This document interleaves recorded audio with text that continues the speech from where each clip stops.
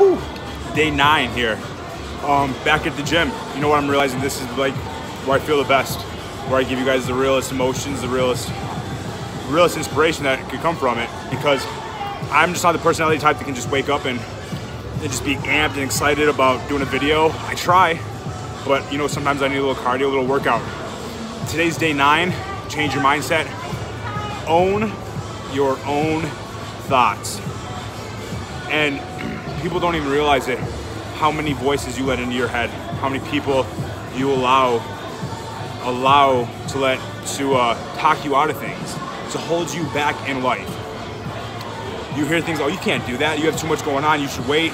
You should do this. You should do that. But I mean, that's just crazy. It's whatever you want to do. It's your goal. So how do you expect other people, strangers, even friends or family, to understand it if it's your goal? I can't explain my goal to people because it's it's just in me. It's a part of me. It's it's what drives me to where I want to be, especially right now. With everything I have going on in my life, it's what drives me. I can't explain it. I can't explain it to Elaine. I try to, but it's deep down inside of me. And so many people are just like, I think I should do this, but you talk to somebody and they're like, ah, you should wait.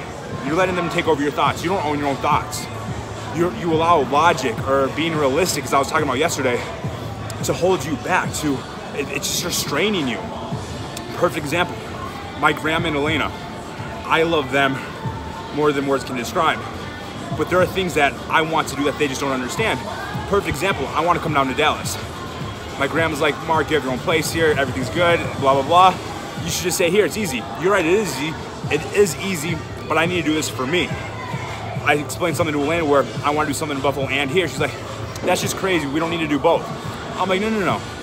That's that's bullshit because no, you're just saying we can't do something. I'm saying I want to do enough where I can do both. And it's just my goal, so I can't expect her to understand. Now I'm gonna go away from me. My mom.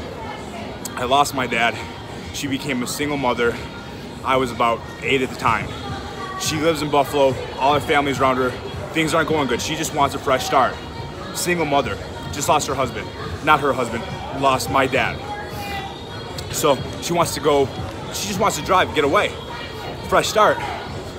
And everybody's like, what are you doing? That's like, that's honestly crazy. Like in today's society, that's just crazy. Only single mother have everything in one place. You're just gonna take your kid and do something else. She didn't let those thoughts own her. She owned her own thoughts and she's like, I appreciate the feedback, but you know what, fuck you. I, I need to do this for me and my son. She did it and that's why I'm here today. If she would have never done that, I would have been somebody completely different. And I'm so thankful that I had such a strong mother but she owned her own thoughts. That's what so many people uh, just allow to happen. And, and another example is you and your in your groups of of friends realize how much negative shit you guys talk. Like that's just all people talk about. It's just negative things or oh that person's doing that, but but like that's shitty, blah blah blah. You would rather talk shit about people than you know what I need to get away from this and do this for myself. Just grow. Your circle tells you so much about you. And I'm so thankful I got out of Buffalo and I have some great friends there, family, but I was just in such a negative place in my life. And I still own my own thoughts, but I just was in a negative environment, a, a negative uh, atmosphere. So how is, is, no matter how positive I am, how am I supposed to grow?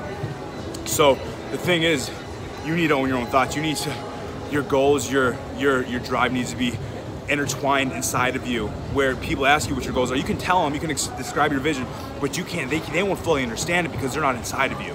That's how bad you want.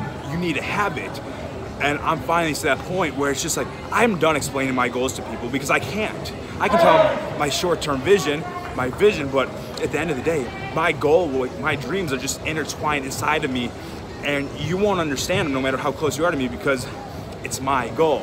It's not yours. So just own your own thoughts. Remember that. Day nine, change your own mindset, baby. Change your own mindset. I love it.